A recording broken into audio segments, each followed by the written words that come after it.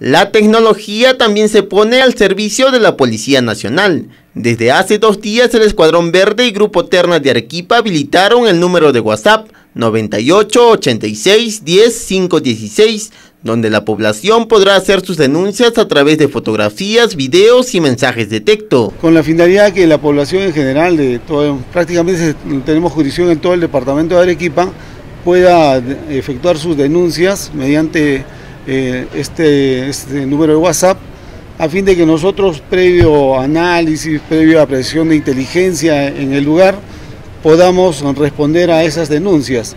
De hecho, que va a haber la confidencialidad del caso, la reserva del caso, a fin de que no tengan ningún problema, porque ese es el temor de la población, no denuncia porque tiene miedo a represalias. El comandante indicó que en los dos primeros días de habilitado el WhatsApp se ha recibido más de 15 denuncias de la población, las mismas que vienen siendo atendidas previo trabajo de inteligencia para evitar ser engañados. Las denuncias son sobre violencia familiar, piratería, venta de drogas y prostitución clandestina. Ojalá que podamos atender a todas ellas y sobre todo capturar todo lo que es microcomercialización, lo que haya de repente prostitución clandestina, delincuencia común, eh, la finalidad es ello, ¿no? atender a este tipo de denuncias. Asimismo informó que las denuncias también se podrán hacer a través del Facebook Escuadrón Verde Terna Acupé.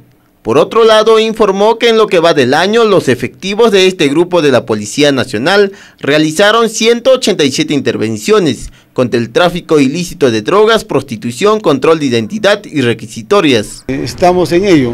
Queremos minimizar eh, todos esos actos eh, delictuosos, eh, la presencia también, lo que abunda, vamos a llamarlo así, en el, sobre todo en el cercado de la ciudad, es la prostitución clandestina, donde hay bastantes hoteles que se dedican a, esa modalidad delictiva.